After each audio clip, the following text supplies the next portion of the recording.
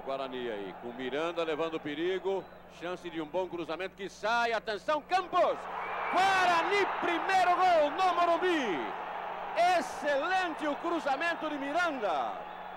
A defesa do São Paulo, no entanto, assistiu à entrada de Campos, que tocou completamente solto para a abertura da contagem num gol preciso, o golpe de cabeça de Campos. Um Guarani, zero São Paulo. Esporte é cultura. Gilberto. Teodoro protegendo a passagem da bola. O cruzamento é feito. Neneca vai ao solo. Pênalti. Pênalti de Neneca e Serginho. Estava tão simples a jogada para mandar a bola para escanteio.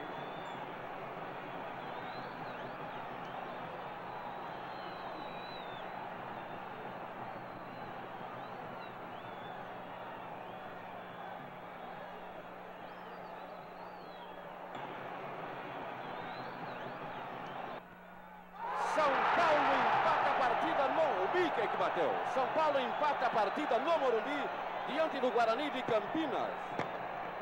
Mickey cobrando penalidade máxima cometida por Neneca em Serginho.